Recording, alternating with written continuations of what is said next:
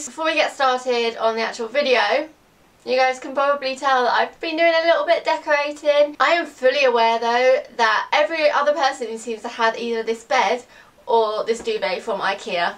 I didn't know that and then I made the video and everyone said that they had it so I haven't done an empties video in a long long long time. Last time I did an empties video I ended up missing out a few items. I've got a massive box of stuff to show you. I'm going to start off with something that I feel like is very in keeping with this time of the year. I think I got this last November. Spiced Pumpkin Shower Gel from Body Shop. This stuff is so good. It smells amazing. And I really hope they get it in again this year. Although I am in a phase of trying out lots of Lush products at the moment so I probably won't buy any shower gels anytime soon. I've got another Body Shop shower gel and it's a pink grapefruit one. Like I said I really like the Body Shop shower gels. I do think £6 is quite a lot but then they do last a long time. A few times a year they have sales on and you can get these for like one or two pounds. Really lovely scented shower gels yet once you get out the shower it doesn't cling onto your body so much so that you can enjoy a really nice smelling shower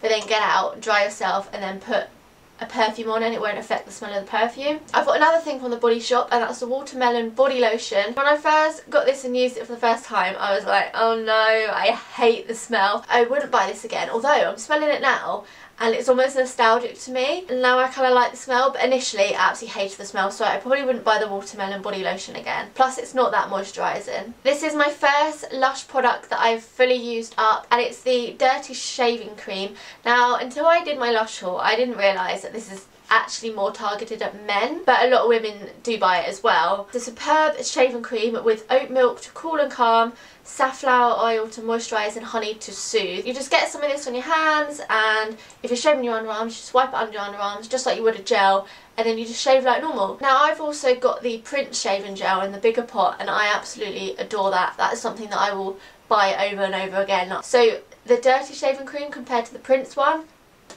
is nothing, like this is rubbish compared to the Prince one. But if I'm not comparing, this is still nice, it still moisturises your skin, it still leaves it feeling smooth and moisturised, but it doesn't feel too great when you're shaving. Doug was actually the first one to use this, so from a guy's point of view, he used it to shave his face and he said that he didn't enjoy really shaving with it. He also said that it didn't make his skin feel moisturised afterwards either. Now I feel like my skin does feel moisturised after I use this but he said it doesn't and because this is targeted at men I probably wouldn't go for the dirty cream. Next couple of things are some mascaras. Got a waterproof mascara from Topshop and a volume lash mascara from Topshop. I love this volume lash mascara. I always buy Topshop mascaras. They're just really really good and they're about £8. They last me ages and this waterproof mascara is really really good as well. Next thing is something I was really excited about trying and it's the Nivea In Shower Body Moisturiser and on the back it says how to use it and it says use your normal shower product and rinse off. Apply this in shower body moisture while still in the shower and then rinse it off and then get out of the shower, dry yourself and get dressed and go. The product itself is really really good I really enjoyed using this it is a little bit annoying that you have to do like two things in the shower and it's not just a shower gel and a moisturiser in one but I didn't mind too much it just meant that I just didn't moisturise when I got out of the shower this I got I think at an event about a year and a half ago and it's the Paul Mitchell Moisture Mist. It's basically a hydrating spray and you just like spritz it on your hair and it hydrates it. I think that's what it's meant to do. I wouldn't say this is like a must-have product. Smells good and is a guess a good product but I feel like it's a bit of a waste of money. Like I wouldn't go out and buy it again. If someone was to give it to me I'd happily use it. Next is this Mark Hill Holiday Hair Beach to Bar Dry Shampoo. I always get this when I go on holiday. I do really love the smell of the Mark Hill stuff but I think that's just because I've been using it for so long. I honestly think Batiste is a better dry shampoo though. Got some shampoos and conditioners to share with you. First are these Phil Smith Bombshell shampoos for blonde radiance. This has chamomile extract in like a lot of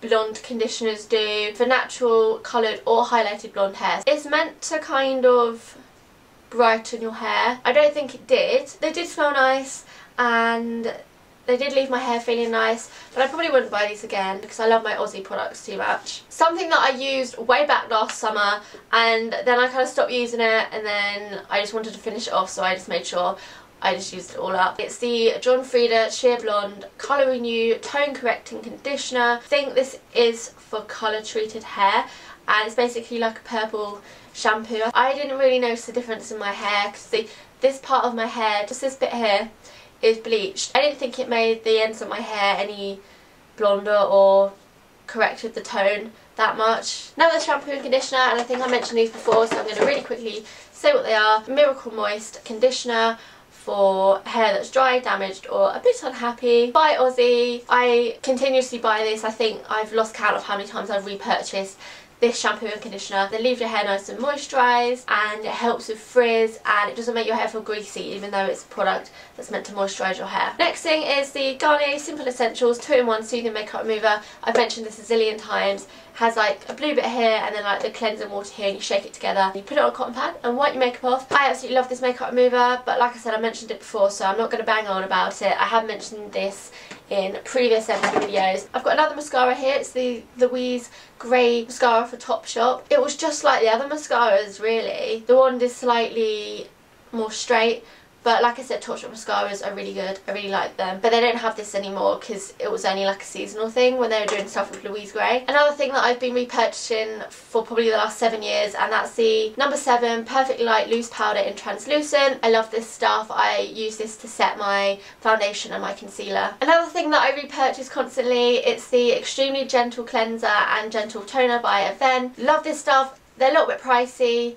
but they are so worth it and I get mine in Boots. Next product is by Liz Earle, Super Skin Moisturiser, naturally active ingredients, cranberry seed oil, rosehip oil, borage oil, borage oil, and natural vitamin E, soothes and plumps for rejuvenated looking skin. It smells pretty nice because it's quite neutral, it doesn't have a scent to it. It's like all natural and it's got no perfumes in it. I really really really liked this. I felt like it did exactly what it said on the pot. I would probably more than happily buy this again. Last couple of bits. Got my Revlon ColorStay Foundation in 150 buff for normal to dry skin. I get it in the second to lightest colour because it's got a warmer undertone and the lighter shade has a cooler undertone. It looks way too pinky on my skin. The last thing is another moisturiser and it's by Avène. Unlike the cleansers and toners, I am really, really disappointed by this product. This is the Rich Hydrating Cream. I got two. I got this one and then I got the same one but with the SPF 20 in it. So I wanted one with an SPF in for the day and then I thought there's no point in wearing a moisturiser with an SPF in, just go to bed. So when I take my makeup off and cleanse and tone my face in the night, I would put this on. And I didn't feel like this did any wonders to my skin. If anything, it just made it worse. And I feel like I'm still struggling with my skin from this. It could have just been a coincidence, but I felt like this broke me out. So I just used it all up and now I'm never going to buy it again. Like, I didn't want to waste it because it was so expensive, but yeah, I definitely don't recommend it. Cleansers and toners recommend, the moisturisers I don't. So I hope you find this video helpful on maybe some products that you might want to try out and I will see you in my next one. Bye! Thank you.